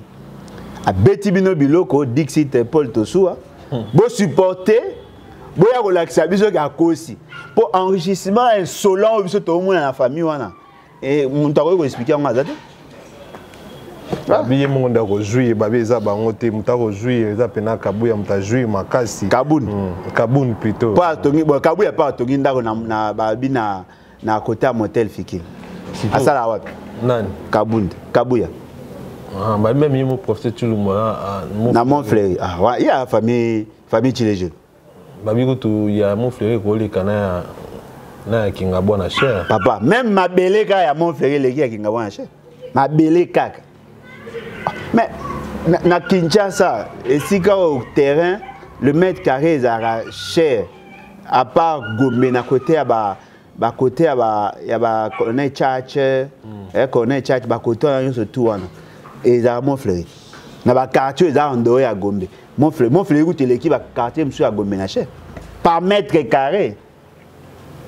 mutana na lopango na mont fleury akokoteka yango deux fois plus cher mutana na lopango na, na gombe très bien papa alain ah, sikoyo naokamwa hmm. bato oyo bazalaka na difficulté ya komobilize 100 000 dollars en peu de temps bakomi na mbongo ebele epuis sikoyo oyoka sikoyo aventure hmm. kabunda abeti masolo tolobaka ya, ya bajuisseur oh ye moko nde ye nde ye kutu nde aza jouisseur mm. mais eloko eza eloko ebomi bino eza nini félix sekedi azalaki na, na espagne Hmm. ayenosani jouissance marbela yango ecree polémique papa ah. mais yango eloko econfirme ke azalaki jouisseur repos babe ezalaki repos jouissance aza mutu te yango ya jouissance te jouissance nde yango wana epuis eloko mosusu mpe elingi napesa bino information mpe bato balandaki te amisi makutano mm. epa jean pierre kaembe mm. alobi boye clairement et jusque là il n'est pas il n'a pas été contredit félix seke c'est normal il faut mpe asepelaka ase détendre ase defoulaka asalaka mosala mingi d'après ye d'après ye asalaka mosala mingi chaque samedi abengaka bango bafandaka alambi biloko balie basepeli mpo ase détendre euh, kabunda alobaki yango chaque sani baka na fete mais euh, nani mpe alobi amis makutana alobi yango epa jean pierre kaembe chaque samedi donc ndenge ezala naoloba eh, bozwa ona pire esprit naozwa ona cadre ya métaphore mpo bino okomobangabanga pampanga na cadre ya métaphore Na bien. Euh, Mutoyo amela masanga samedi. Mm. Chaque samedi. Mm. Pensez-vous que masanga liboso abanda komela na semaine eza samedi? Amela yango mingi. Mais samedi na amela na bato nyonso. Mm. Donc ce qui veut dire que moto amela masanga samedi a créé dépendance ya masanga amela mingi. Mm. Bolanda ba video ya Félix Ekedi. alobi depuis akoma mokonzi alalaka esu bien takomolamuka ba 14 bolanda bavideo na ye akoma kolala na retard akoma kolamuka ba 14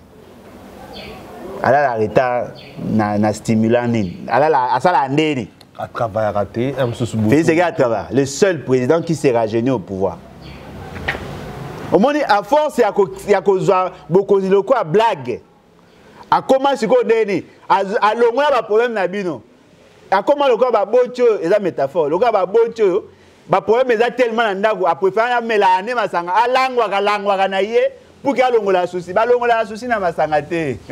soki omoni ke mokumba eza kilo Tika kende. Yesu a dit venez à moi vous tous qui êtes chargés. Le peuple vous dit ça, venez à moi, démissionnez. Marabella Babé ezaki question ya santé papa Alain, ezaki po ah, ah, eza recommandation ya médecin. Mhm. Akomeli na Marbella. Aponeli na Marbella place ba star bakenda. Ye monde a préféré Marbella msu pona ah, kimia. Na préféré yango ayebi on ndeni. Ah mwana poto quand même. Oh, mwana poto to ayebi Marbella. Félix Tshisekedi faut amona ngo na TV soit ba joueur moko bakendaka kuna amona ba video amoni kitoko abi ah oyo mpenza place ya bien akende akei ake kojouir kozwa yango na jouissance na maka mabe te ake kojouir Ah. Ake osakana. Eh akende osakana. Babe ezalaki repos médical hein. Oh, repos médical à combien de jours? azongi 5 jours azongi azongaki déjà eh, sikoyo mais repos médical médecin moko akoyebisa osala repos ya 5 jours kokosa esengaka mayele moi bino bwana na ngolu ya kokosa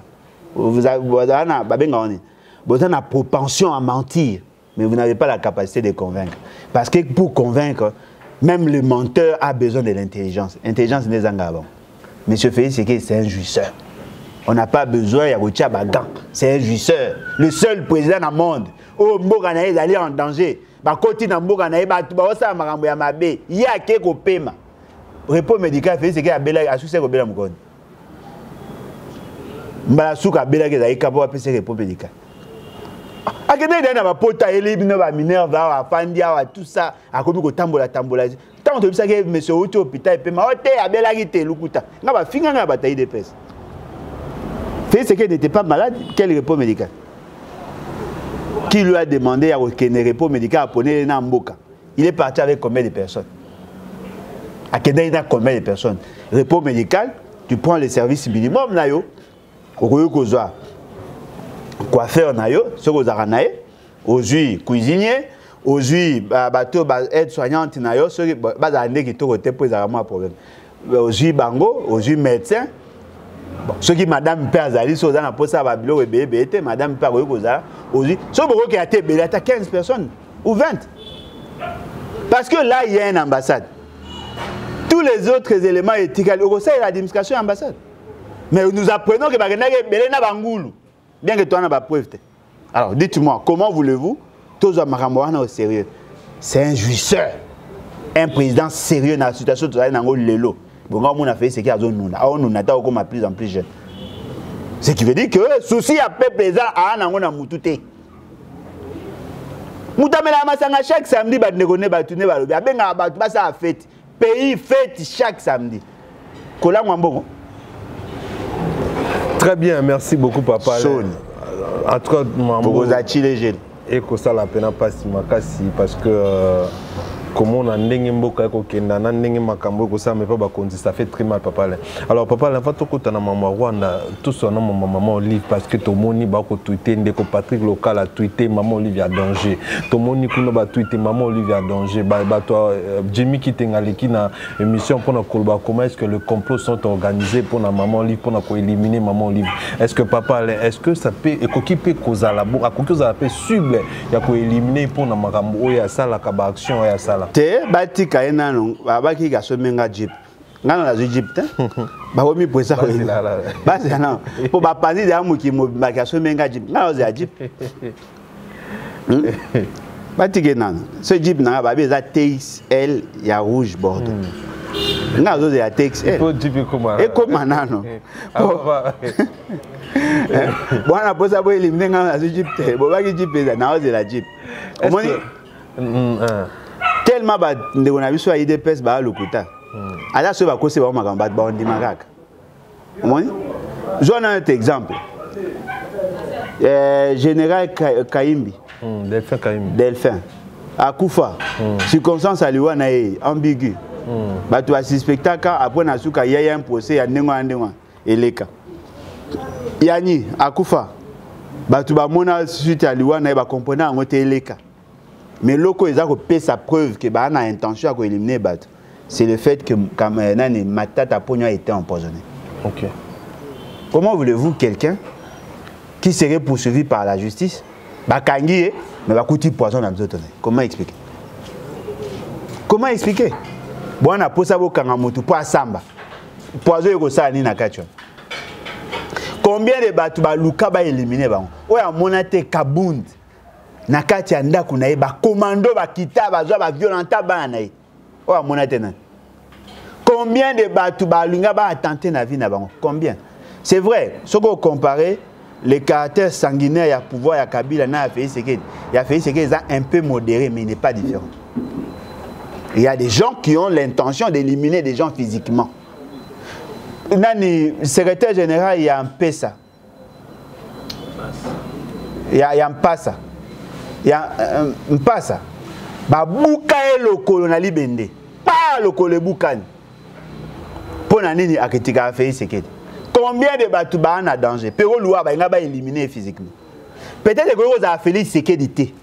ekoki kozala mpe entourage on ne sait pas mpo omoni ndenge eza wana lokola oza mokonzi eke oza na entourage ya mabe mabe ya entourage bakokweisela kaka yo neti ngai namona kaka fei sekete mais ye mosusu eza nango mpe ye te eza kaka bato oyo ba excès des ailes mais lokola ye ayebi kogere bango te bakopesa ye mama olive différence nini bomona entre mama olive na gisele mpela mama olive otemisi awa gisele mpela différence nini boomona gisele mpela mama olive azalaki mwasi ya mokonzi ya mboka kala te mais oui mais ezali problème ke akoki kozala na problème na mutu e mutu yango aza na pouvoir sur le système pour le nuire ekoki mpe koarrive bango babi bongo ti babi kende eza ah, non mais ngai azoloba te hmm. c'est-à-dire que maman olive lokola aza kodérange baintérêt ya bato moko boye bakoki kolinga basala ye ndenge basala c'est balakisa ye ke bango nde baa na bokoli maman olive na jusen pela bakozala ndeti na statut moko par rapport ya pouvoir otoomona oza na mposa na aloba mpo oluka moyen okima okende exile ndenge pe oluwaka aza ndeko na ngai yoyokaka o ngai nalobi sukaka wana mpo ntango na lopesaka badetail ekomaka mebele zala na problème na moto ya leta memaka mambe tokokota te mbeto eza mystique ebomaka mabe koleka ebanda kala depuis na bible ah. Ah. Ah, okomprendre yango eh? soki olingi omela mokili zala na problème na mobali Mais, mais est-ce que papa le baby qui n'a pas œuvre au moment lui va au salle, ils ont dérangé, est-ce qu'il faut stopper Non, mais attendez. tokoki kokɔta na dossier ya origine ya mbongo ya mama olive hmm. me makambo oyo azosala bato baza koapprécie sikoyo nani akoki kosepela te na moto aosala baaction en faveur ya peuple motu to akosepela soki omoni bato baosepela te mpo baolinga ntango banini eza kaka lokola motu moko boye un grand sportif aosala succès mais chaque fois baorapele succès ya motu moko asalaka koleka ye aolinga sikoyo ke aleka aleka moto wana mpo ke ye akóma na gloire c'est là où maintenant ekreaka conflit mpo nga soki nini aza boye soki natongi ndako na nga naa napusaki te ndako na nga elekaka bavoisin nakosala ndako na nga ezala bie ya nga soki namoni ke ndako ya voisin eza kitoko nangi nasala mieux que lui je ne veux pas l'envier nakosala ndako na nga ezala kitoko c'est comme ça mais soki omoni bato bakomi ya concurrence bato baoboma bato na congo eza banani ah daye kutu mama sese azalaki mwasi malamu koleka mama olive ah nga mpe fo nasala nalakisa ye ke mama naleki mama sese omoni c'est ça moto aolinga asala makambo mpo alakisa bato ke aleki bato mosusu basala yango naturellement bamosusu basala yango ya koforce parceke eloko wana boboma na poani dites-moi soki moto asali eloko koleka yo boboma ya pwani mais non pa professeur chilumba alobi ye ke euh, mama olive mama denise nyakeu mama oh, akosi mama denise nyakeu na lisolo yango ye ayebi nini bon alobi te mpo na lisolo tokobeta ye abi boye mama denise apesaka so apesi na droite gauche eyebaka te mais alors ke mama olive apesaka bato tu bakomona différence yango wana ye alobi hmm. wana ye alobi botika bon nakomi ku ndeni mama olive mama denise akotia mais toloba kaka wana ye alobi oyo oh, ngai nayebi mama denise apesaka bato nyonso bayeba elekaka na tv elekaka na bomonaka teke na tv basali baaction eleki na tv bakabeli bana bourse eleki na tv basali boye eleki na tv le problème ce que eza boye il y a des gens qui donnent par amour avec un cœur il y a des gens qui donnent avec la tête moto mosusu apesaka na motema mosusu apesaka na motu eh, avec des calculs non il faut tobanda kosala baaction pour ke tolakisa bango ke toleki bango to mais moto mosusu azosala yango eza culture na ye eza lokola moto mosusu soki alinga kabela il faut akabela na en plein air mais mosusu soki alinga kabela il faut eh, eza ya kobatama tu vois moto na moto aza na culture na ye mais bango tu mibale bapesaka en public qui, a, qui, qui, qui n'a pas vu euh, fils mukoko malade est ce que fils mukoko ayebisi ndoki basungaka ye na ndenge ya kobatama mais ba maman Denise ando pese 2000 dollars chaque fin de mois et babi awa melela ngo nde masanga mingi yango maman Denise akataki yango même asundolaki etanga belaki po ayokaki te ba abanda déjà kozwa ya en charge wa alobi yango nani Chilumbu pe kaka te oyo ya maman Denise ya maman Olive nani mutalobi fils mukoko hmm. Chilumbu akoma okuta ya maman Denise po abeta maswa ba 2000 dollars Oui, abike na ye moto amema fils mokoko epa mama denise apesa apesaka ye ba 2000 dollars chaque mois ayebisaki na peso chaque mois ya liboso apesi yaki ameli kwiti mbongo esili ya mibale kwiti mbongo esili nde mama asilikaki ah, mama asiliki mpo apesaki ye 2000 dollars ameli kwiti hmm. oui donc euh, moi, moi je pense qu'ils doivent arrêter de se distraire mutuellement. Mm. Hein, toza na ba question ezali essentielle. Mm. Ba ko gagner nini ceux qui ba ngi ba éliminer maman Olive. Mm. Parce que ata ceux qui aza éliminer, ata ceux qui ba bomi ndenge ba ya PPRD ba oloba. Mais l'histoire retiendra que il y avait une dame qui faisait plus que l'autre. Oyebi après combien d'années ba ba mona maman Olive ba ba apprécier. il y a eu un temps quand elle avait commencé bato tu anataka mwasi ya mobutu ah mwasi ya mobutu ya liboso azalaka malamu mama sese azalaka mwasi malamu abandaki kosunga bato ntango mama olive aye ngai namona mama olive asala plein na équateur balingaka kabila te me balingaka mama olive bolingo basombaka te bomanifeste amour bokocontinue na bino esaska une bonne chose et puis boevite kokotisa mama denise na makambo wana mm. parce que plus bato baoloba yango e, ekoya kobima concurrence wana non e, e, ekoya kobima lokola moto aza kotya mama olive en danger mama olive et maman Denise. Maman Denise. Mm. Peut-être elle n'est pour rien. Mm. Mm. Elle n'est pour rien, mais mm. tellement bat baolo bango batilu bakomi kokota makama. Mm.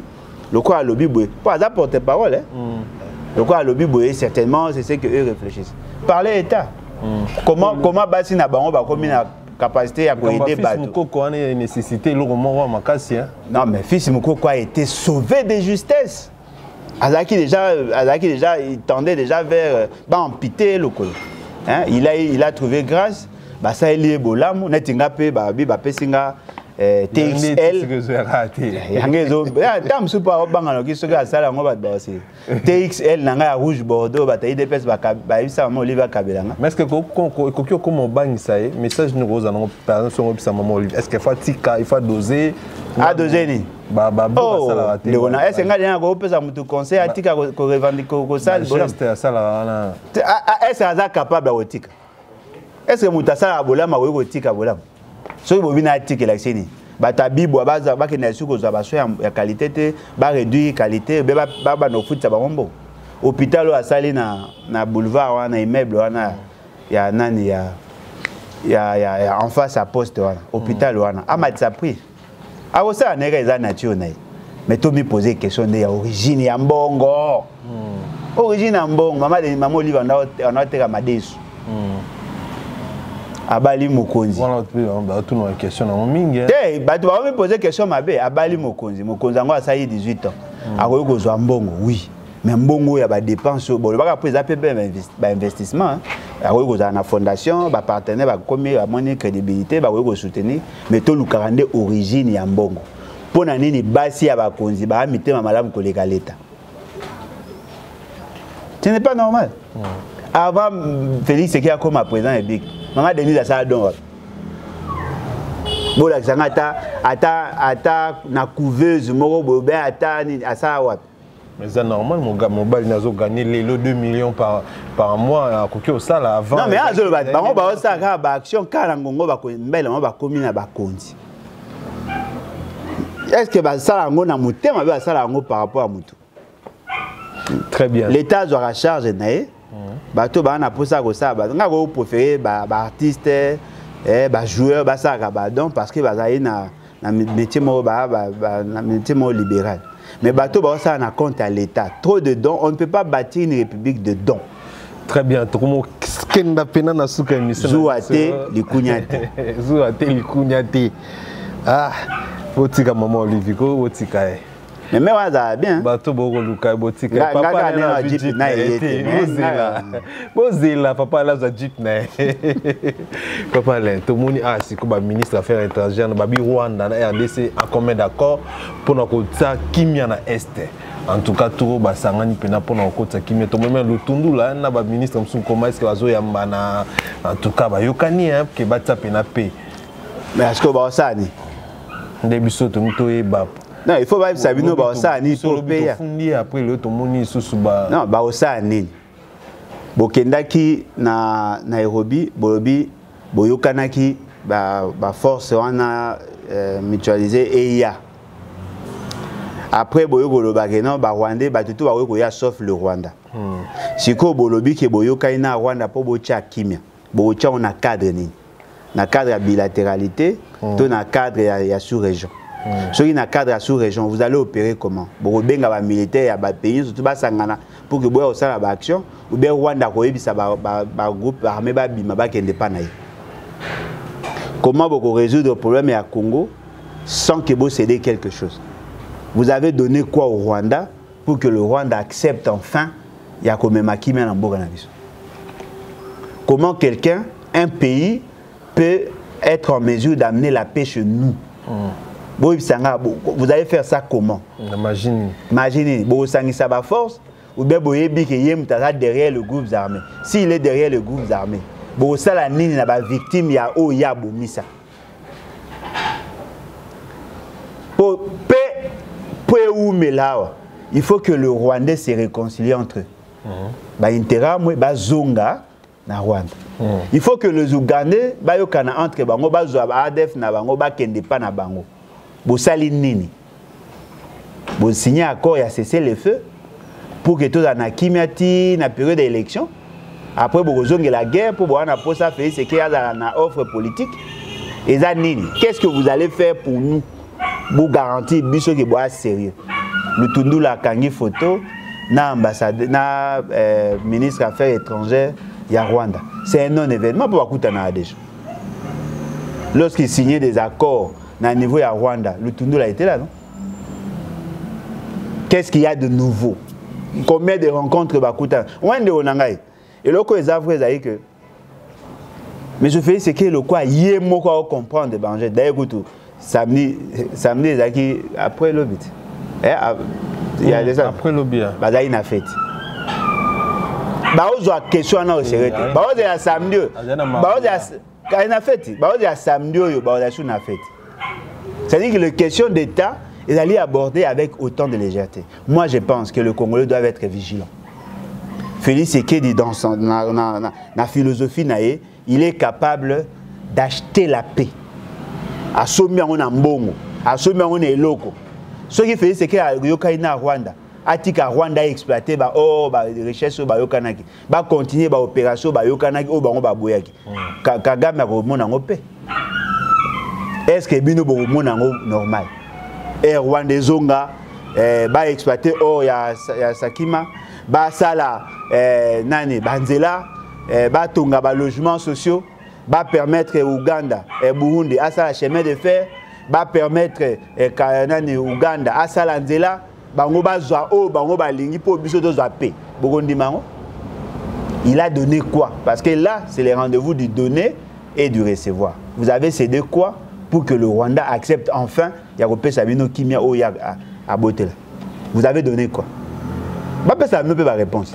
Parce que papa, le Rwanda, tu jamais qu'on reconnaître qu'il y a un agresser, malgré toi, to denosaki ye tolobaki eza rwanda eza rwanda mais ce dans quelle magie oyo esali ke basangana tosutuka mbala moko ke balobi ke bango mbale bayokani tuna chilombo moto azangaka baréponse te tuna ye ye ayebi deya mamba mama denise akoyeba mpe mamba félix eke na baaccord baza kosigne c'est ça au fait la honte baolinga balakisa bino qui sont en train de se démener mpo na kotrouver solution alors qu'en réalité le problème que eux cherchent à résoudre eza problème oyo bango bacréer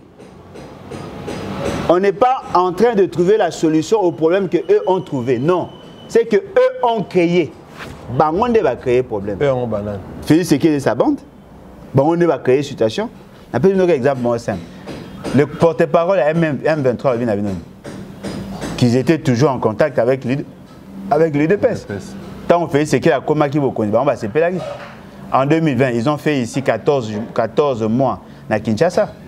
parce que bazalaki na posa kotia brigade ont-ils été contredit toke mosika te nga moko nasali émission na mishiki epai ya Israël Mutombo vous savez ce qu'il a dit eux sont en contact permanent avec le Rwandais avec le groupe armé ba, ba, ba groupes armés bazwi en otage bamembre ya seni bakendaki kosala cartographie il suffisait seulement na ye mpo azwa kaka telefone ainstruire na bango batiki bato ya, ya, ya, ya cni oyo bazwaki en otage ba, mishiki, ba, mishiki balibere bato ya cni sur instruction na ye au téléphone mais il est quand même libre ata okoba bongo oh. okokangama nde nini mpo eza biloko bango basalaka Ils sont en contact avec le groupe armé. Ils peuvent instruire le groupe armé. Ils négocient avec le groupe armé. Félix Sekela Tindaka eh, bato na ye na ya présidence na, na nini na ituri mpo bakende osola na bato ya kodeko bazwaka en otage thomas lubanga thomas lubanga le tout premier moto akangamaka basambaka azalaka condamné na fpi hmm. monsieur félix eke il a recruté atinda ya kosolola na bango bazwaka en otage il a été libéré comment il y a une négociation basololaka na bango na bagroupe armé Alors, pourquoi bino bolinga bo se distraire Ne pensez pas que l'absence ya guerre nde elakisi paix. Non. Bokoki kozala ke masasi ebeta esu te mais vous n'êtes pas en paix. On ne peut pas acheter la paix na mbongo. Pour mutu wana Kagame, il va continuer à exploiter nos ressources. C'est ce que le Congolais n'aime pas. Non, omoni eh, lokola locataire yango akomi problème afutaka te alingi mpe kobima te lokola tobundi mingi totika ye kaka afanda akobimisa ya bino certificat d'enregistrement ezalaka te il faut abima c'est comme ça mais ye azolinga banégocier lutundula azosepela mpo bakangi photo na ambassadeur rwanda c'est ce que moi j'appelle les complexés bosepela vous êtes content quand vous êtes en face des criminels des gens qui tuent chez vous ntango tozosala émission na misiki ndeko na ngai mafuta ematanga nakendaka na esprit ya kozala président ya parti me nakomi kuna boye moto aloba na ono oh eh, ndenge eza wana eh, naliberaki grâce na ngai nde bajean aseni balibere ngai nazali notable ya, ya, ya, ya nord kivu j'ai pris mon téléphone nabengi bango nayebisi bango aye bolibere balibere bango yo oza na nimero na bango ya téléphone okota en contact na bango batosaka yo mpo yo oza nani mpo yo oza nani soki batosaka yo ya kolibere bato ya seni me ntango babomaka bandeko na yo mpo nini yo obengaka te très bien mpo nini obengaka te mafia ndeko na ngai mafia tu ozomona na bango tu baa bacomplice ngai ndimaka bango te ezala banotable ya sud kivu ezala ya nord kivu ezala ya ituri pour la plupart sont des complices mais pasi na ngai ondima bandeko na yo ya mboka na yo bana ya mama na yo baoboma bango yo ofandi mpo ozela baintere alobi na bino na processus électoral na kote ya bagroupe armé bayokani ndenge bango basalaka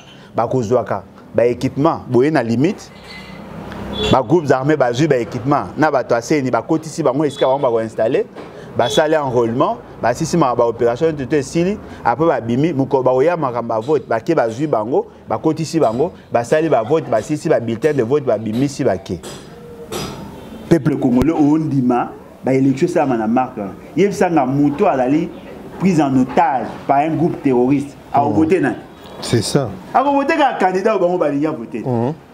ata bakoki kozwa babite bakoshe bakoshe bakosi okochange nini bakoki mpe kofaire angole bana mike meme babebe meme bafetus dites-moi quelle est la valeur qu'on va accorder au résultat na mboka oyo l'état congolais n'a pas la maîtrise On va faire comment On négocie pour que bato wana bazala en faveur ya candidat oyo bango balingi. C'est simple. C'est malheureux en tout cas. Ça sert ya kobeta masolo eleki. C'est vraiment malheureux. Bolanda video wana ezali. Hmm. Ezali.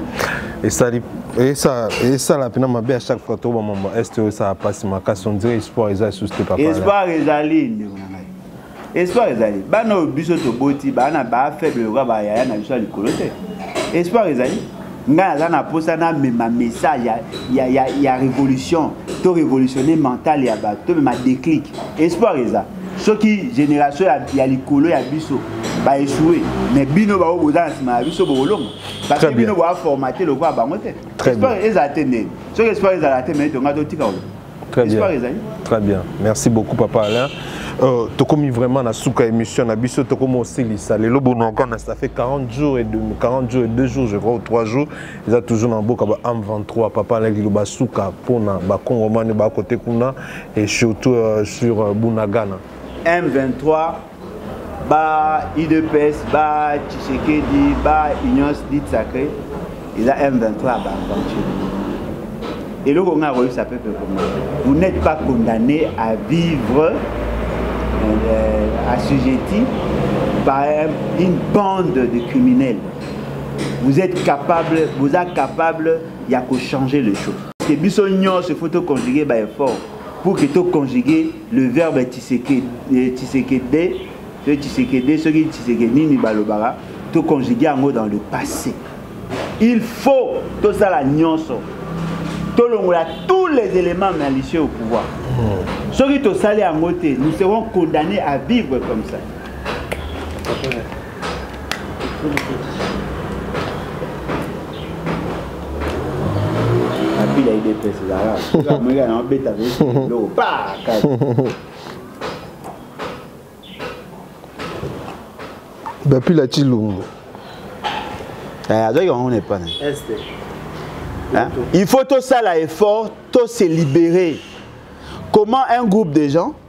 bakoki kozwa tout un peuple en otage il est temps pour nous to changer les rapports de force soki tosali yango te nous serons condamnés à vivre indéfiniment dans ces conditions là la situation de l'est ezali possible tosilisa yango mais seul le peuple nde akoki koenclenche début ya, ya faire eloko wana donc tozala vraiment uni bato balingi korejoindre biso boya tozala plus tokoma ebele plus on aura de moyens